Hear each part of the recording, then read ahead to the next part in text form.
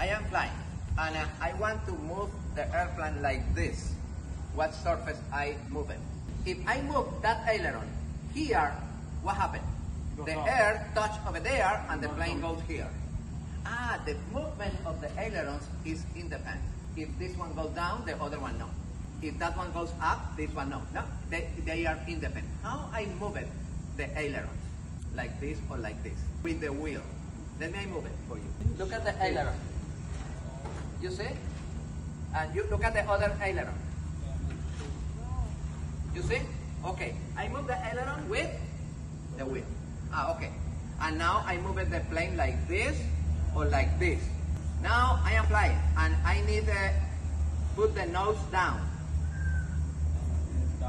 I move that one. Pay attention. If that one is like this, what happens? The nose goes down.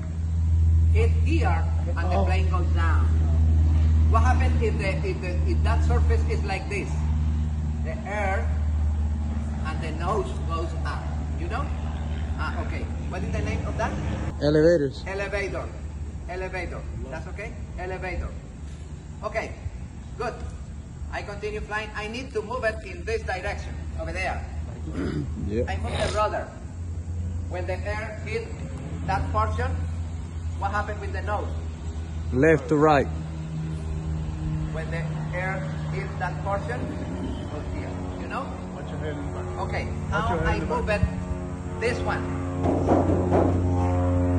Cuidado con la cabeza. That eh. one. Push. Now I move it that one. With this, mira. When I move the wheel like this, mira. Now I move it, the, the, the, the rudder.